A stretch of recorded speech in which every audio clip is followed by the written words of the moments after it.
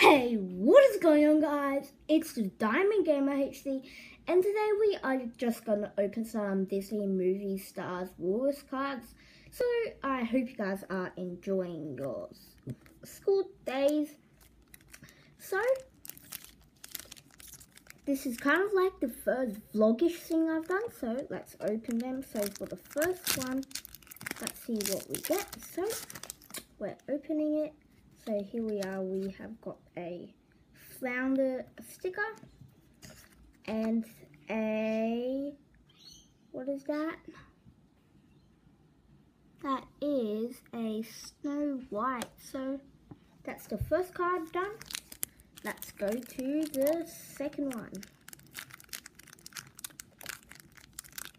So we only are going to open three today and if we get um, at least let's aim for three likes. I will open five more.